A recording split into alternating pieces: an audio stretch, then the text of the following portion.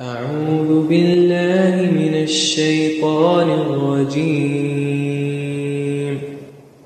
بسم الله الرحمن الرحيم. قل يا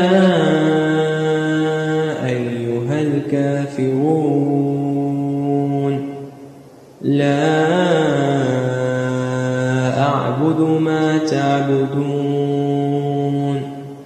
ولا أنتم عابدون ما